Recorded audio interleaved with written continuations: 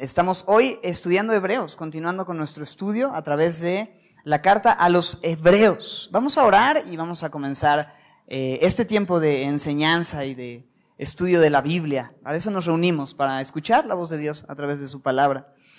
Señor, queremos poner en tus manos este tiempo. Nuestras vidas las traemos delante de ti. Gracias, Señor, porque dejaste tu palabra escrita porque no dependemos de la buena memoria de alguien sobre lo que ocurrió, sino que tenemos registrado por escrito, Señor, lo que, lo que tú has hecho por nosotros, lo que tú has dicho, tus propósitos, tus verdades. Y queremos hoy estar muy atentos, estar muy atentos. Es necesario que pongamos con mayor diligencia atención a las cosas que hemos oído, no sea que nos deslicemos, Señor. Queremos estar muy atentos. Así es que ayúdanos, quita toda destrucción, no, toda distracción que pueda traer destrucción a nuestras vidas por no poner atención, Señor. Permítenos estar muy, muy atentos a tu palabra el día de hoy. En el nombre de Jesús. Amén. Bien. Así que hace algunas semanas comenzamos nuestra carta titulada A los Hebreos o Hebreos. ¿Y quiénes eran estos famosos hebreos a quienes se les escribe esta carta? De entrada sabemos que Sabemos que no sabemos quién escribió la carta. No tenemos a ciencia cierta la información sobre el autor. Lo único que sabemos al ciento por ciento es que el Espíritu Santo inspiró a alguien para escribir esta carta y ser de bendición para nuestras vidas. Y estos hebreos eran una comunidad de cristianos de la iglesia primitiva. Eran cristianos que tenían un trasfondo, ¿te acuerdas qué tipo de trasfondo era el trasfondo de los hebreos? Pues hebreo o judío. Ellos por mucho tiempo estuvieron en un trasfondo religioso, en un trasfondo de judaísmo, pero un día conocieron a Jesús y dejaron a un lado su religión para enfocarse en Jesús. Y por haber dejado a un lado su religión, por haber dejado a un lado el judaísmo, pues ellos se veían en problemas. Ellos se veían bajo presión y tenían una lucha constante, ya que eran cuestionados por los religiosos alrededor de ellos sobre su fe en Jesús. Y eran no solamente cuestionados, sino presionados a seguir cumpliendo y viviendo bajo ciertos ritos, tradiciones, rituales, los cuales ellos guardaron durante mucho tiempo antes de conocer a Jesús. Pero entendemos que todos estos ritos, tradiciones, regulaciones religiosas, tenían el único propósito de mostrarle al hombre su necesidad de un Salvador. Y todo esto eran simplemente sombras de aquel que había de venir. Eran tradiciones que apuntaban a Jesucristo, quien vendría a darnos una vida de libertad y de gozo mayor a la vida que una persona puede tener bajo la religión. La Biblia dice en Colosenses que cuando alguien se queda solamente con tradiciones, guardando fiestas, lunas nuevas, días de reposo, ritos, regulaciones. Está aferrándose a una sombra, pero está ignorando lo importante, el cuerpo, la realidad que es Cristo. Es como si mi esposa, después de haber salido de viaje o después de un tiempo sin verla, de repente eh, vuelvo a verla, viene hacia mí, está a contraluz, pero de repente yo veo la sombra en el piso y yo, y, yo empiezo a besar la sombra y empiezo a abrazar la sombra. Sería un poco extraño, como que nada que ver, ¿no? Lo más lógico sería que alguien que me viera hacer eso dijera, Raúl, estás un poco, ¿cómo decirlo? Confundido, ¿no? La sombra no es lo importante, sino la realidad, tu esposa misma. Y en este tiempo, así como el día de hoy, hay gente que insiste en querer abrazar y besar y enfocarse en la sombra, en las tradiciones, en los rituales, pero eso no es lo importante. Lo importante es la realidad, es el cuerpo que es Jesús. Así es que vemos que los hebreos habían puesto su esperanza en la realidad, en Jesús, y habían hecho a un lado estas sombras, estos ritos, estas tradiciones, porque habían entendido que eso apuntaba a algo mayor, a Jesús y ahora podían amar esa realidad y tener una relación con Cristo. Y quizá te ha pasado que de repente te convertiste al cristianismo, te convertiste a Cristo, no al cristianismo, sino a Cristo, Empezaste a vivir tu vida en Cristo y, y, gente alrededor empezó a presionarte. Es que tus hijos tienen que hacer la primera comunión, o tienes que bautizarlos, o tienes que tomar la Eucaristía, o tienes que participar de estos rituales, o de esta religión, eh, de, ciertos, eh, sí, ritos religiosos. Pero aquellos que hemos conocido a Jesús, no participamos más de estas cosas porque entendemos realmente qué significa tener no solo una primera comunión, sino una comunión toda tu vida, una primera, segunda, tercera y durante el resto de tu vida una comunión verdadera con Jesús. Entendemos qué es el bautismo, qué implica el bautismo y por qué bautizarte a la luz de la Biblia. Es una decisión que uno toma de obedecer a Dios personalmente. Un bebé no tiene la capacidad de decidir sobre eso. Un adulto que ha decidido seguir a Cristo se identifica con su muerte, con su resurrección, etc. Entendemos qué es lo que la Biblia dice acerca de tomar la cena del Señor qué es realmente participar del pan, del, vino o el jugo de uva, el tomar la cena del Señor, ¿qué es, qué es eso realmente? Y, si tú te sientes así como que presionado en distintos aspectos por la religión o gente alrededor quiere moverte el tapete intentando convencerte de no solo eso, sino quizá guardar el sábado, cumplir ciertos ritos, guardar ciertas tradiciones, vivir bajo ciertas regulaciones religiosas, yo estoy seguro que a través del estudio de esta carta podrás tener un ancla firme, un ancla firme y sentirte seguro de aquel que es superior a toda religión, aquel que es superior a todo ritual, aquel que es verdaderamente importante, Jesucristo. Y que sepas que todo lo que tienes en Jesús es superior a lo que la religión te puede ofrecer o a, lo que la religión demanda. Así que vemos que una parte importante de las tradiciones judías, de aquellas personas que presionaban a estos cristianos llamados hebreos, estos santos de trasfondo judío, una de, las tradiciones que tenían era estimar y darle cierto honor y cierta importancia a los ángeles. Vimos en capítulo 1 que Jesús es superior a todo.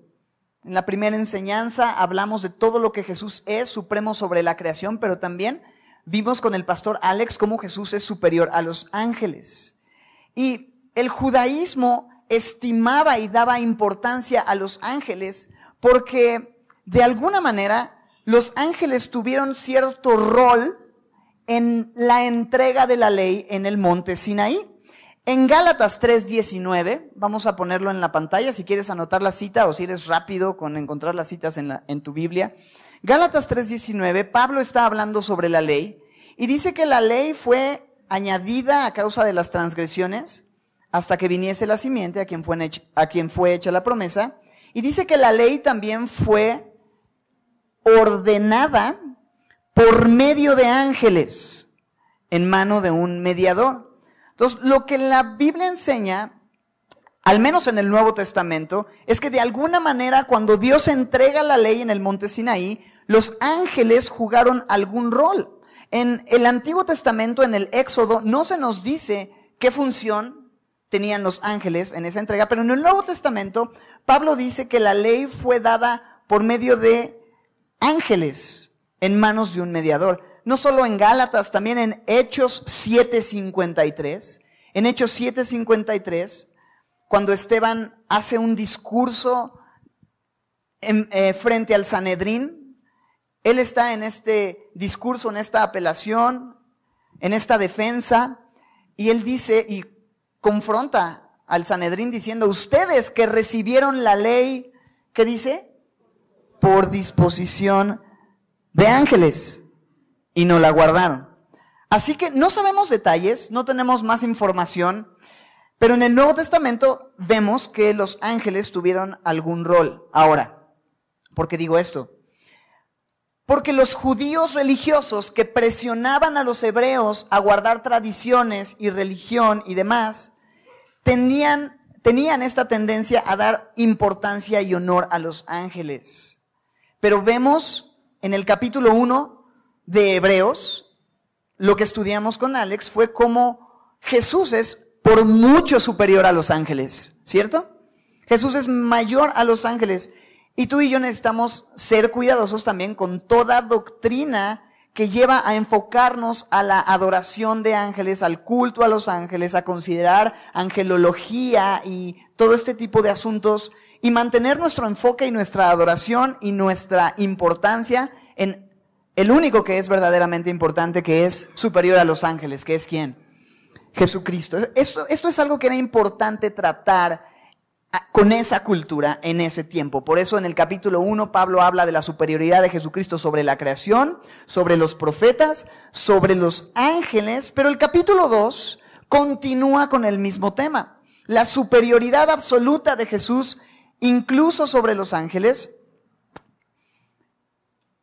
y va a hablar acerca de la encarnación, y, vamos a ir descifrando y entendiendo y despejando preceptos. Es un libro denso, si te has dado cuenta. Y lo vamos a ir tratando de hacer lo más sencillo posible, pero no perdamos de vista que el tema del capítulo 2 sigue siendo la superioridad de Jesús sobre los ángeles, aún en su encarnación. Aún en su encarnación Jesús era superior a los ángeles porque logró con su encarnación algo que ningún ángel podía lograr. Vamos a, despejar esto y entenderlo. Yo quisiera retomar desde el versículo 1 de capítulo 2, simplemente para resumir y conectar con lo que continúa diciendo. En el capítulo 2 vamos a verlo completo. Dice así, Hebreos 2, versículo 1, por tanto, es necesario, ok, antes de entrar, los versos 1 al 4 son un paréntesis en todo este tema que ha venido desarrollando. ¿Qué tema ha venido desarrollando? La superioridad de Jesús sobre profetas, sobre la creación y sobre qué? Ángeles. Hay un pequeño paréntesis con una exhortación en el capítulo 2, versos 1 al 4, y este tipo de paréntesis y este tipo de exhortaciones van a ir apareciendo a lo largo de toda la carta de Hebreos y, los y vamos a ir observando estas exhortaciones. La semana pasada ya estudiamos esta exhortación, no me voy a detener demasiado, pero sí quiero repasarla. Ahora sí, versículo 1. Por tanto, por todo lo que Jesús es, la superioridad, su gloria, superior a los ángeles, superior en la creación, superior a los profetas, el mensaje mismo de Dios, que es heredero, creador, revelador, sustentador, purificador, soberano y supremo. ¿Te acuerdas de esa lista que vimos en la primera enseñanza? Jesús es todo esto. Por tanto que es Jesús, es necesario que con más diligencia atendamos a las cosas que hemos oído, no sea que nos deslicemos. No perdamos la atención de las palabras de Jesucristo, del mensaje de Dios que es Jesús, porque si tú te desenfocas del mensaje de Dios que es Jesús, si tú te desenfocas de la persona de Jesús, puede ser que nos deslicemos, que naufraguemos. Esa es la advertencia. Y luego continúa la palabra fuerte en el verso 2 diciendo, porque si la palabra dicha por medio de los ángeles, ¿cuál es la palabra dicha por medio de los ángeles? Ya lo explicamos. La ley, el mensaje de la ley, la ley dada a Moisés en el Sinaí. Si esta ley fue firme y toda transgresión, es decir, todo incumplimiento de la ley y toda desobediencia a la ley, recibió justa retribución, o sea, justo castigo, si las consecuencias de no obedecer a la ley fueron grandes, fueron graves, recibieron castigo, mira lo que dice el verso 3, ¿cómo escaparemos nosotros? Si descuidamos, ¿qué dice? Una salvación tan grande. O sea, si hay consecuencias por desobedecer a la ley, ¿cuánto más no habrá consecuencias si tú y yo descuidamos la salvación que Dios nos ha dado, que es mucho mayor a la ley, que es mucho más gloriosa que la ley? Es una advertencia muy, muy gruesa. Ahora, la Biblia habla de consecuencias, de un castigo por no cuidar de nuestra salvación, por ser negligentes con nuestra salvación. Debemos ser sinceros, eso es lo que el texto está diciendo. A veces pensamos que la vida por gracia es, pues voy a vivir viviendo, o sea, haciendo lo que yo quiera, con quien yo quiera. Total, Jesús ya perdonó mis pecados, yo voy a seguir dándole vuelo a la hilacha y voy a seguir haciendo de mi vida un papalote. ¿Esto es lo que la gracia produce? La gracia produce una vida de temor de Dios, no por miedo al castigo, sino por amor y una respuesta a lo que Él me ha dado primeramente. Su salvación tan grande produce una respuesta en mi vida. Y dice Filipenses 2.12 que debemos ocuparnos en nuestra salvación con temor y temblor. Debemos cuidar de nuestra salvación, darle mantenimiento a nuestra salvación, no por temor a perderla, sino por la gratitud que hay de haberla recibido. ¿Cuál es el castigo que viene cuando no nos ocupamos de nuestra salvación, cuando no cuidamos de ella? No lo sé y no pienso investigar. ¿Ok? Simplemente la exhortación es, no descuides una salvación que es más grande que la ley. ¿Está claro? Ahora sigue hablando de esta salvación tan grande en el verso 3. Dice que la cual, la salvación, habiendo sido anunciada primeramente por el Señor, es decir, Jesús, durante su ministerio terrenal, una y otra vez habló de que Él había venido a buscar y a salvar lo que se había perdido. Fue anunciada primeramente por el Señor, después dice, fue, el verso 3 continúa diciendo que nos fue confirmada por los que oyeron. ¿Quiénes fueron los que oyeron el mensaje de Jesús? Sus discípulos, aquellos que estuvieron con Él durante ese tiempo. Y estos discípulos transmitieron ese mensaje, confirmaron ese mensaje de Jesús a las siguientes generaciones de cristianos. Así es que fue anunciada por el Señor, confirmada por los discípulos, pero número 3, verso 4, testificada por Dios. Dice ahí, testificando Dios juntamente con ellos de esta salvación, ¿por medio de qué? Señales y prodigios y diversos milagros y repartimientos del Espíritu Santo según su voluntad. Todas estas cosas son una confirmación de la salvación. Estas cosas señalan que Jesús puede salvar y acompañan la salvación. No son el énfasis, no son el centro. Los milagros, sanidades y demás no son aquello en lo que nos debemos enfocar. Debemos enfocarnos en nuestro Salvador y la salvación que ofrece y todo lo demás simplemente señalan. ¿Qué es lo que hace una señal? Señala, apunta al Salvador. Entonces es lo que está diciendo. Hablando de tan grande salvación, testificada, anunciada por el Señor, confirmada por los discípulos, testificada por Dios. Y entonces dice con señales, prodigios, diversos milagros y repartimientos del Espíritu Santo según su voluntad. Ese es el paréntesis, ¿cierto? Versículos cuál al cuál? Uno al cuatro. Ahora bien, versículo 5 hasta el final del capítulo va a continuar con la misma idea, cierra el paréntesis, el versículo 4, y retoma el tema de la superioridad de Jesús sobre todo, incluso sobre quiénes? Sobre ángeles, ¿ok? Regresamos al tema, mira cómo continúa diciendo, pero antes de hablar de, de seguir observando, cuando pensamos en los ángeles, ¿tú qué piensas? Hollywood, no. Pensamos en seres gloriosos, seres poderosos, seres hermosos. Y quizá tú y yo podríamos pensar, si Dios iba a tomar alguna forma, ¿no, ¿no, hubiera sido lo más lógico tomar forma de ángel y no de hombre? ¿No era mucho mejor tomar forma de ángel que de hombre? Digo, un ángel es más poderoso, no muere, tiene muchas ventajas sobre un hombre. Bueno, esta porción nos va a mostrar cómo era necesario que Jesús tomara forma de hombre y era mejor que tomara forma de hombre a que tomara forma de ángel, porque al tomar forma de hombre logró muchas cosas que si hubiera tomado forma de ángel no hubieran podido suceder. ¿Está claro? Ese es el propósito del resto del capítulo. Vamos a observar ahora sí en versículo 5 en adelante. Porque no sujetó a los ángeles el mundo venidero, acerca del cual estamos hablando. ¿Cuál es ese mundo venidero? Pues el mundo que está por venir. Literalmente. El reino milenial, el mundo futuro, ese mundo donde todas las cosas serán finalmente restauradas y regresarán a su forma original, lo que Dios planeó para una, una, creación perfecta, libre del pecado y sus consecuencias, no solo en el hombre, sino en las cosas creadas, donde el lobo y el cordero, el león y el cordero podrán jugar, un niño los apacentará.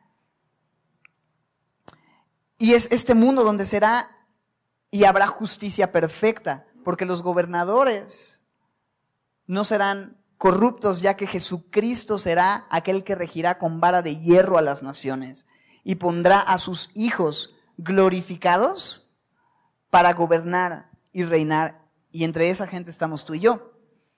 ¿No anhelas un mundo de justicia perfecta? Ese mundo va a llegar, es el mundo venidero. Pero ese mundo, el texto nos dice que ese mundo no está sujeto a los ángeles. ¿A quién está sujeto? A Jesucristo y a el hombre, a nosotros. Dios nos ha dado autoridad sobre ese mundo futuro, nos ha hecho reyes y sacerdotes y gobernaremos y reinaremos juntamente con Cristo. Al que venciere, ¿te acuerdas estas preciosas promesas en Apocalipsis? Al que venciere, le daré que se siente conmigo y gobierne y va a regir con vara de hierro junto conmigo sobre las naciones. Los ángeles no van a reinar en el mundo venidero, es más, nosotros vamos a juzgar a los ángeles, vamos a reinar sobre ellos. Es, es impresionante. Verso 6, pero alguien dice testificó en cierto lugar, ese alguien era David, ese cierto lugar es el Salmo 8,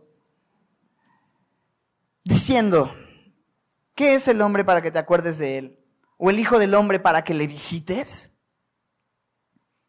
En el Salmo 8, el salmista David está meditando sobre lo increíble que es que Dios, siendo poderoso, se haya acordado de gente como nosotros, que somos polvo. Y dice, ¿qué es el hombre para que te acuerdes de él? ¿O el hijo del hombre para que le visites? Continúa citando el Salmo 8, ahí en Hebreos 2, verso 7.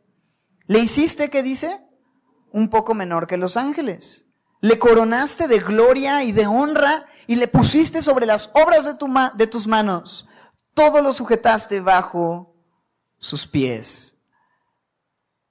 Aun cuando los hombres somos menores que los ángeles, Dios le dio al hombre una honra, un privilegio y un honor tremendo. ¿Cuál? El de tener señorío y dominio sobre qué? Sobre la creación, sobre las obras de sus manos. Y lo vemos en Génesis, en el capítulo 1 leemos desde Génesis 1.26, si quieres acompañarme. Entonces dijo Dios, hagamos al hombre a nuestra imagen conforme a nuestra semejanza y señoré en los peces del mar, en las aves de los cielos, en las bestias, en toda la tierra y en todo animal que se arrastra sobre la tierra. Versículo 28. Bendijo Dios al hombre y le dijo, fructificad, llenad la tierra y sojuzgadla y señoread en los peces del mar, en las aves de los cielos, en todas las cosas que se mueven sobre la tierra. Y continúa en los siguientes versículos con la misma idea. Dios dándole al hombre la honra de tener dominio sobre la creación. Y continúa, vamos de regreso a Hebreos 2, en el verso 8, en la segunda parte, diciendo algo interesante. Aun cuando Dios nos dio esta honra, dice, porque en cuanto le sujetó todas las cosas, ¿a quién sujetó todas las cosas? Al hombre. Estamos hablando de el hombre, el salmista, hablando de Em, cómo Dios le ha dado este honor al hombre, le sujetó todas las cosas, dice, nada dejó que no sea sujeto a él. O sea, no hay nada que no debiera estar sujeto al hombre. ¿Está claro? ¿Esto es así el día de hoy? La verdad, la verdad. No, ¿por qué? Por el pecado. Vemos en el verso 8 cómo dice, al final, pero todavía no vemos que todas las cosas le sean sujetas. Porque en Génesis 3 entró el pecado. Y junto con el pecado, la caída, con sus consecuencias en la creación entera. Las plantas dieron espinas y cardos. Con el sudor de nuestra frente tenemos que ganar el pan para llevar a casa. Y la creación entera, nosotros, la creación, sufrimos la caída. Romanos 8 dice que la creación gime, anhela, esperando como con dolores de parto que todo vuelva al diseño original, a como debería de ser. Y ya que todos vivimos en ese estado, ya que todo está caído, verso 9. Mira lo que dice, pero vemos a aquel que fue hecho un poco menor que los ángeles a Jesús coronado de gloria y de honra. Jesús fue hecho un poco menor que los ángeles porque se hizo hombre y añadió humanidad a su deidad. No dejó de ser hombre, no dejó de ser Dios, ¿cierto? Él era 100% Dios y 100% hombre, no, no 50-50, 100% y 100%. Y es interesante que aún en su condición humana, él seguía siendo mayor y superior a los ángeles por lo que logró con su humanidad, pero también por el hecho de que en el verso 9, cuando dice que Jesús fue hecho un poco menor que los ángeles, esto de un poco se puede traducir como breve tiempo. Solo un breve tiempo. ¿Cuánto tiempo? 33 años. Y listo. Por un poco de tiempo fue hecho menor a los ángeles en ese sentido. Pero el texto dice que vemos a este Jesús como coronado de gloria y de honra. Y me hace recordar, ¿qué dice el Salmo 8 acerca del hombre? Al hombre lo coronaste de gloria y de honra. Pero ¿qué pasó con esa gloria y esa honra que el hombre tenía? La, gloria de gobernar sobre la creación, de administrar la creación. ¿Qué pasó con esa gloria, esa corona que Dios nos dio? La perdimos. ¿Dónde?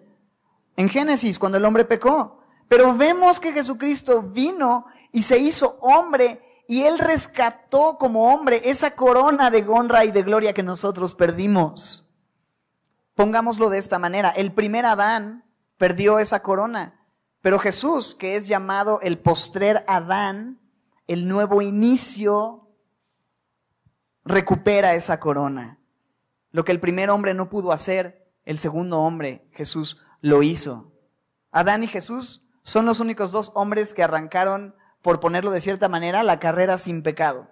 Adán arrancó sin pecado, pero luego pecó. Cristo arrancó su carrera y se mantuvo y no pecó y fue pecado, fue pecado en todo, pero sin tentado. No, fue tentado en todo, pero sin pecado. Y él recupera esa corona.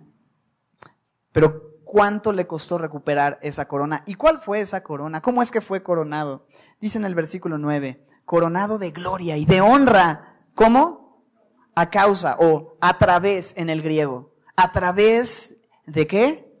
Del padecimiento de la muerte. La coronación de Cristo fue la cruz. Para poder recuperar la corona que nosotros perdimos en el Edén, Él tuvo que morir en el Calvario. No había otra manera. Y solamente podía recuperar esa corona si tomaba forma de hombre. Jesús es superior a todo. Él pudo recuperar lo que de ninguna otra manera se podía recuperar. El dominio del hombre sobre la creación. Y por lo que hizo en la cruz, un día tú y yo vamos a poder gobernar sobre todas las cosas. ¿En dónde? En el mundo venidero. ¿Está claro? Son preceptos profundos, pero necesitamos entenderlo. Y entender que esto esto es lo que puede transformar nuestras vidas el día de hoy. Quizá tú dices que yo tengo un mega problema matrimonial y tú vienes y me sales con que el mundo venidero, bro. Yo necesito hoy entender quién es Jesús, entender la superioridad, su gloria sobre todas las cosas. Le va a dar sentido, propósito y esperanza a tu vida. Es la esperanza firme de tu ancla, de donde todo se va a poder sostener. Al final del versículo 9 dice algo interesante. Coronado a causa del padecimiento de la muerte, para que por la gracia de Dios gustase la muerte por todos. Él gustó. La idea de gustar es la idea de tomar. Él bebió la ira de Dios por la gracia de Dios. Él bebió, hizo que su hijo bebiera la ira que tú y yo merecíamos. Por eso es gracia, porque tú merecías esa ira, pero la tomó su hijo. No merecíamos que Dios nos diera ese privilegio. Ahora bien, Versículo 10, porque convenía, este versículo es denso, convenía aquel por cuya causa son todas las cosas y por quien todas las cosas subsisten. O sea, era conveniente, correspondía, era de acuerdo con la naturaleza de aquel por cuya causa son todas las cosas. ¿Quién es aquel por cuya causa son todas las cosas?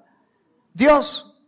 Era conveniente a Dios, era de acuerdo con la naturaleza justa de Dios, versículo 10, que habiendo de llevar muchos hijos a la gloria, para que eso sucediera, perfeccionase por medio de aflicciones a quién? Al autor de la salvación de ellos. ¿Qué está diciendo? Era necesario que Dios hiciera que Jesucristo sufriera y fuera afligido para que tú y yo pudiéramos ser llevados a la gloria. Eso es lo que dice el versículo 10. Cristo debía ser perfeccionado. A ver, espérame tantito. ¿Que Cristo no era perfecto?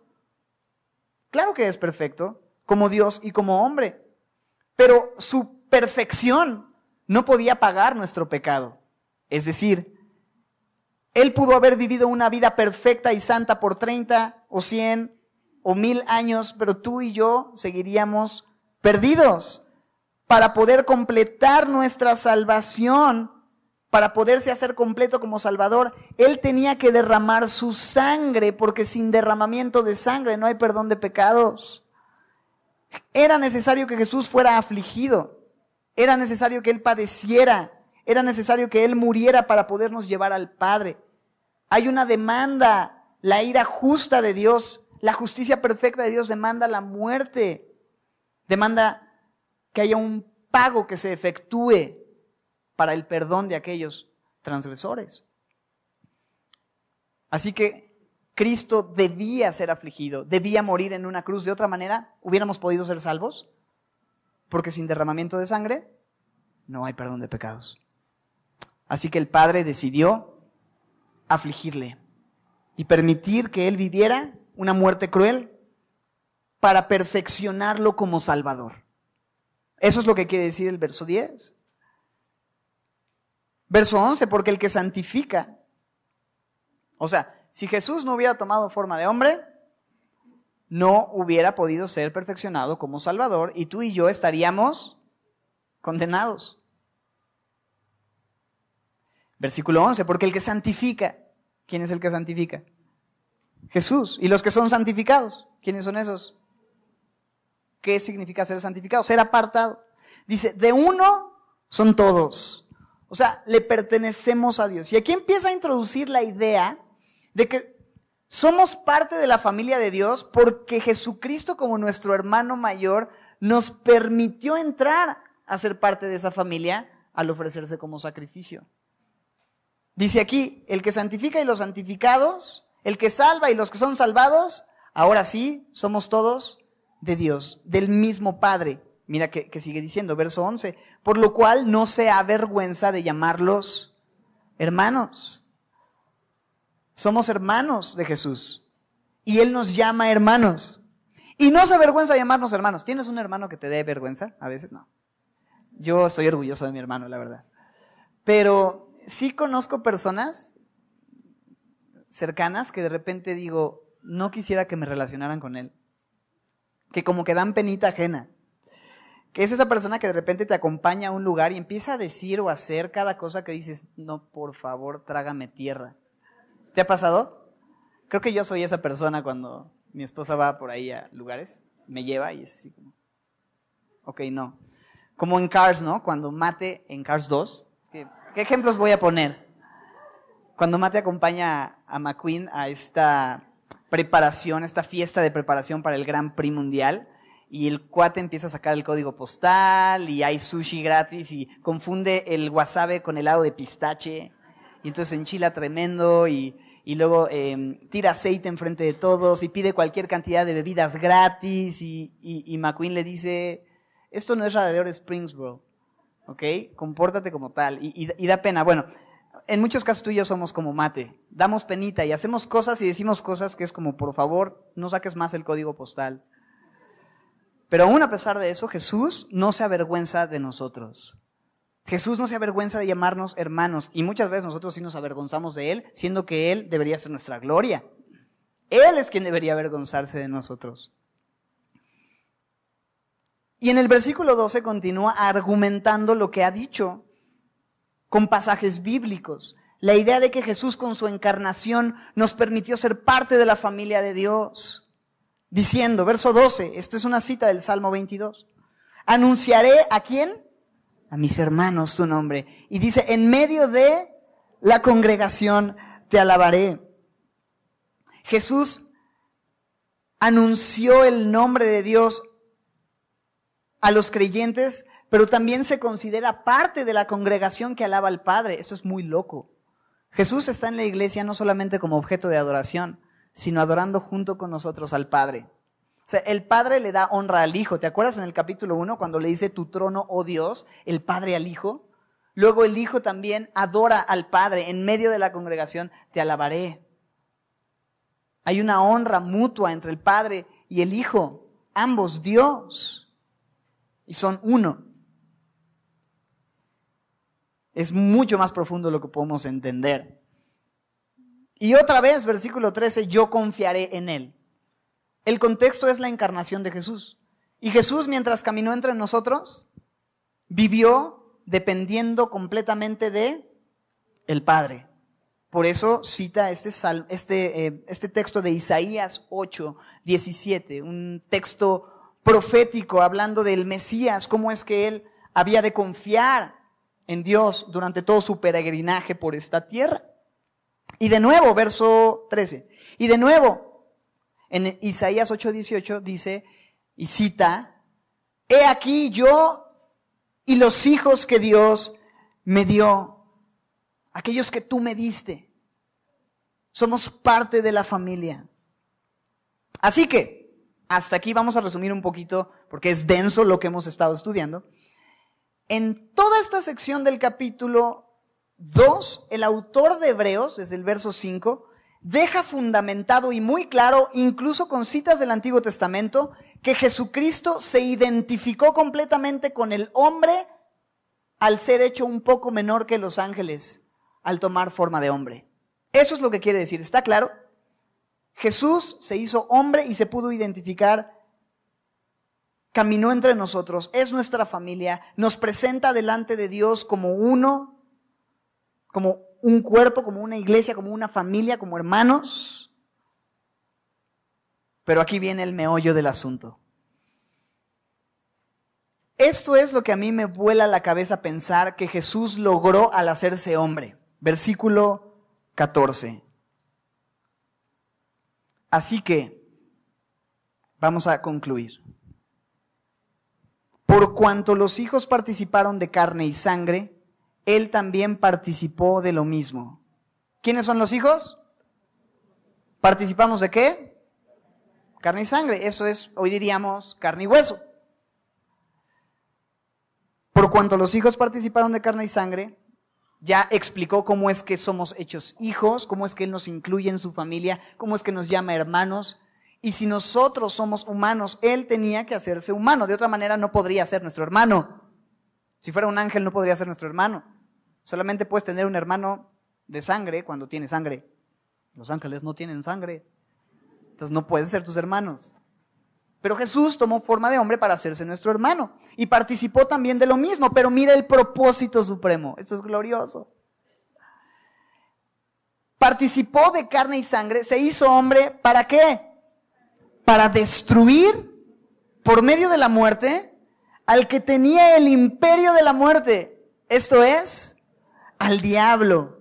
Y como consecuencia, verso 15, librar a todos los que por el temor de la muerte estaban durante toda la vida sujetos a esclavitud, a servidumbre, esclavos del miedo, al qué va a suceder el día de mañana cuando yo muera, qué va a pasar. Ok, esto es glorioso. Jesús se hizo hombre y eso le da una gloria única porque por medio de haberse hecho hombre, fue posible destruir al diablo y al imperio de la muerte y así podernos dar salvación y rescatarnos de la muerte y del temor a la muerte. Solamente tomando forma humana, Cristo podía haber logrado eso. ¿Cristo hubiera podido morir si se hace ángel? No. Por eso se hizo hombre, para morir. Y lo que se logra por medio de su muerte es la destrucción de aquel que tenía el imperio de la muerte. ¿Quién es el que tenía el imperio de la muerte? El diablo. Y el diablo no sabía que al matar al Hijo de Dios estaba obteniendo su propia destrucción, porque por medio de la muerte fue vencido. Y Jesús venció al diablo, al que tenía el imperio de la muerte, pero también venció a la muerte, porque al tercer día resucitó, resucitó, resucitó. Es que iba a decir, batió a la muerte, porque un himno dice eso, pero dije, batió, eso no, no, no se usa hoy, bro, no lo digas. Resucitó, ya me, se me trabó la, el disco duro se me congeló. Jesús es el, el único que nació para morir, que vino al mundo para morir. Y le dijo a la muerte, oh muerte, yo seré tu muerte. Nació para morir, para destruir al que tenía el imperio de la muerte. Y no solo eso, por medio de destruir al que tenía el imperio de la muerte, arrebató al diablo el arma con la que nos tenía cautivos. El diablo tenía un arma con la que nos tenía cautivos. ¿Cuál es, cuál es esa arma?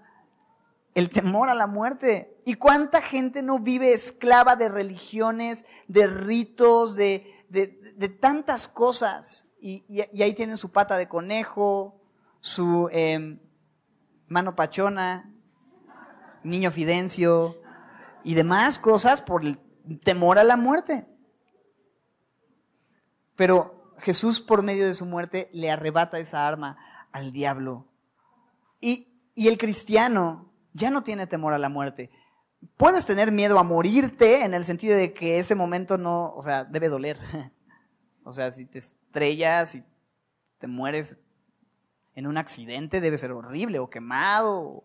O, o sea, no debe ser algo placentero. Pero no estoy hablando de eso, sino de temor a lo que viene después. Un cristiano enfrenta la muerte con paz, porque sabe lo que viene, sabe qué va a pasar, sabe que aunque ande en valle de sombra de muerte, no temerá mal alguno, porque Dios estará con él. Sabe que Jesús ha prometido guiar a los suyos aún más allá de la muerte. Conoce las palabras de Jesús que dijo que el que cree en Él, aunque esté muerto, vivirá. El creyente ha vencido sobre la muerte y sorbida es la muerte en victoria. Absorbida es la muerte en victoria. ¿Dónde está, oh sepulcro? ¿Dónde está, oh muerte, tu aguijón? ¿Dónde está, oh sepulcro, tu victoria? ¿Dónde está, oh muerte, tu aguijón?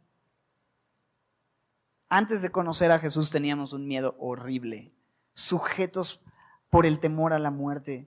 Pero Jesús, por medio de su muerte, ¿sabes qué? hace que la muerte se convierta ahora incluso en nuestro mejor aliado, en un embajador que nos lleva a nuestro verdadero hogar, a nuestra patria eterna, a la ciudad celestial.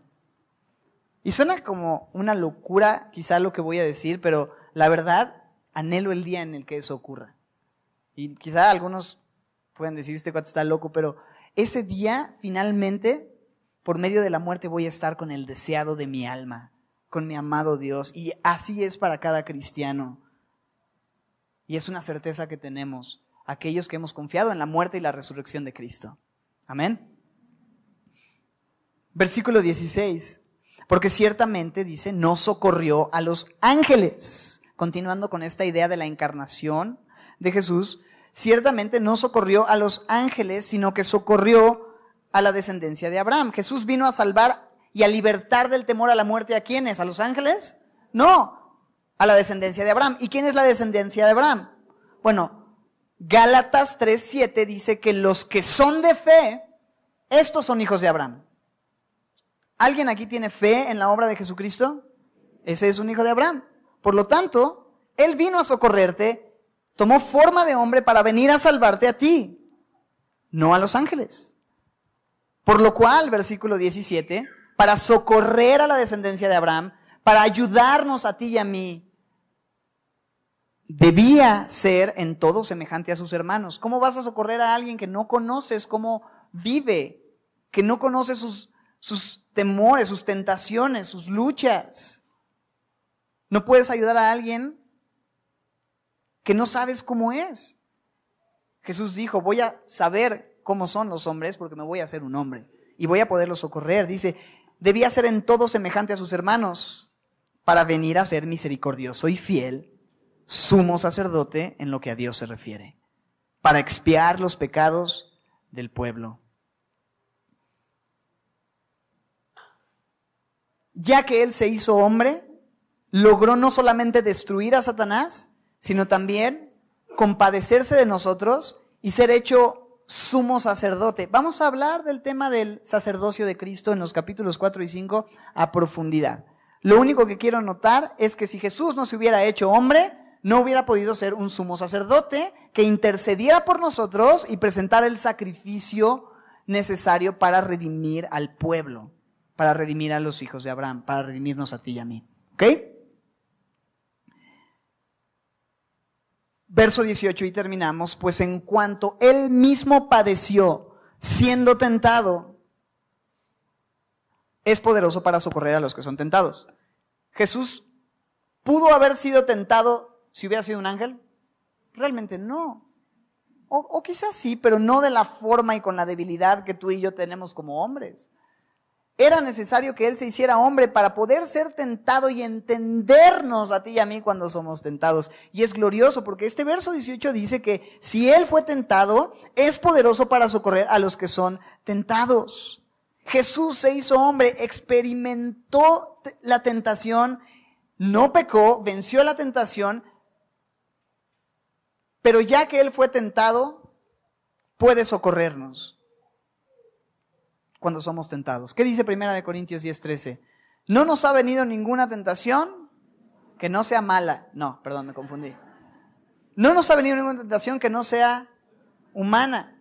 Pero fiel es Dios, que no nos dejará ser tentados más de lo que podéis, más de lo que podamos resistir, sino que dará juntamente también con la tentación la salida para que podamos soportar.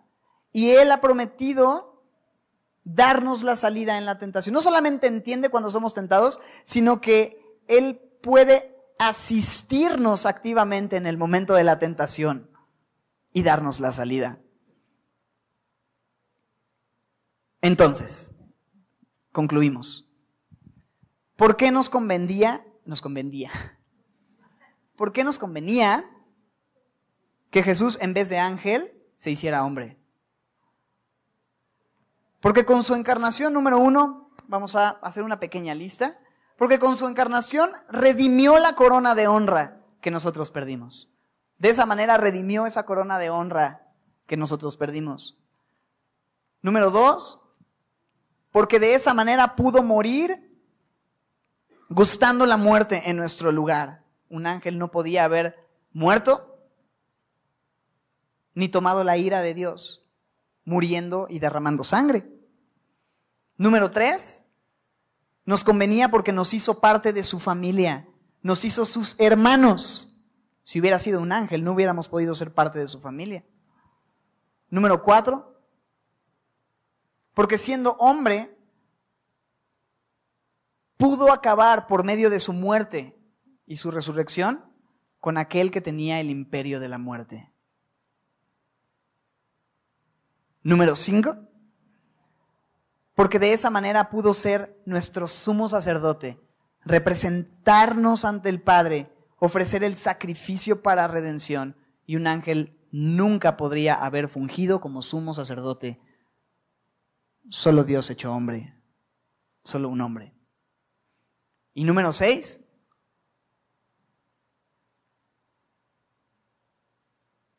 porque de esa manera Él puede compadecerse de nosotros, nos comprende completamente,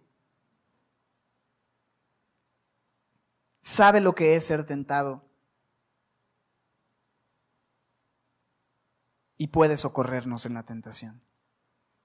Así que Jesús es superior a los ángeles, incluso en su encarnación logra muchas cosas más que un ángel jamás pudo haber logrado.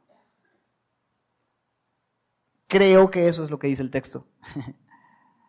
Es denso, es profundo, pero estoy seguro que Dios va a seguir despejando nuestras dudas y te animo a seguir leyendo estos textos y escuchar durante la semana nuevamente esta enseñanza o estudiarlo por ti mismo. Pero vamos a terminar orando y después, muy pertinentemente, vamos a tomar la cena del Señor representando su carne y su sangre. Dios, gracias por tomar forma de siervo hecho semejante a nosotros. Gracias por vaciarte de tu gloria para venir a tomar forma de siervo. Gracias Señor por caminar entre nosotros y hacer esta gloriosa obra única. Gracias por haber sido perfeccionado en la aflicción, experimentado en quebranto. Gracias por recuperar con tu muerte la corona que nosotros perdimos. Gracias por hacernos parte de tu familia y no avergonzarte de llamarnos hermanos, aún a pesar de la pena y la vergüenza que damos, Señor. Gracias por acabar con aquel que tenía el imperio de la muerte y, y quitarle el arma con la que nos tenía esclavos. Gracias por representarnos como ese sumo sacerdote delante del Padre. Gracias Señor porque sabemos que tenemos tu comprensión total en medio de la tentación, pero también tu oportuno socorro en medio de la prueba. Gracias por ser superior a todo y revelar esa gloriosa verdad a los que estamos aquí, Señor. Gracias por dar tu vida en una cruz, entregando tu carne y derramando tu sangre para que todo esto fuera posible. Gracias, Señor, por la palabra recibida hoy. Y pedimos que sigas haciendo tu obra en nuestros corazones. En el nombre de Jesús.